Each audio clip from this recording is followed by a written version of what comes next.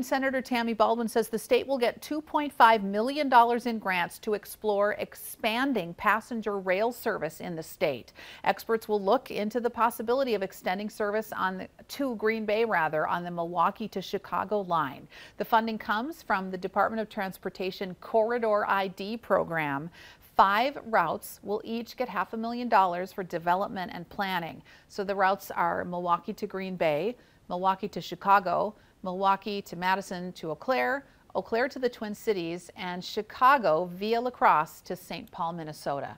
On social media, Green Bay Mayor Eric Genrich said it's terrific news for the community and the region, saying, quote, the decision is not the end of the line, but it's a critical piece of the journey to restore passenger train travel to Green Bay, end quote.